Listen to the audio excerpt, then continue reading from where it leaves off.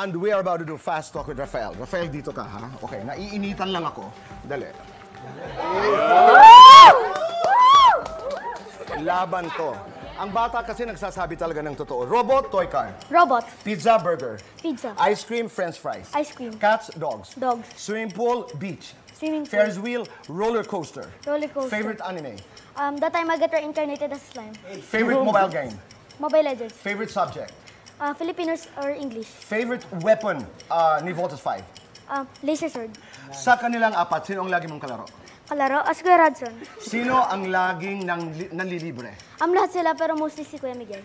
Sino ang pinakamadalas mag-TikTok? Mag-tiktok lahat po kami.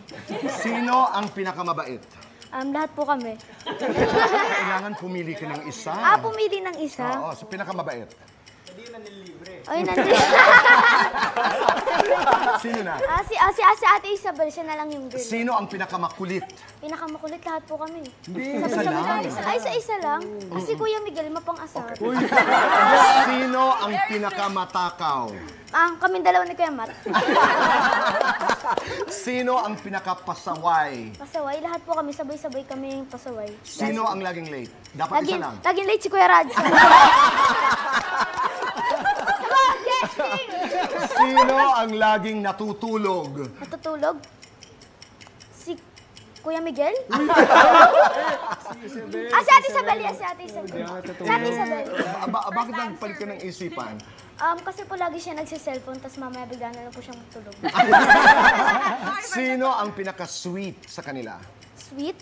Um, baka si Ate, si Ate Isabel. Okay. Sinong, sa tatlo mong kuya, sino ang pinaka-pogi? Ito talaga ang gusto kong malaman. Sino ang pinaka-pogi? Tingnan mo si Matt, oh. Ang Tingnan mo lahat si po kasi Radson. mana kami lahat, mag, mana po sila lahat sa akin, kaya So, kung sino ang pinakamana sa'yo, sino sa kanilang tatlo? pinakamana. Ah, si Kuya Miguel. Libre kita mamaya Yung. SB ko mamaya. Sino ang crush ni Kuya Radson? Pero si Ate Carla.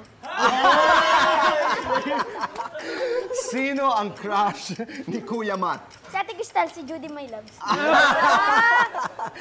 Okay, ito na may atin lang. Kunyari wala sila dyan.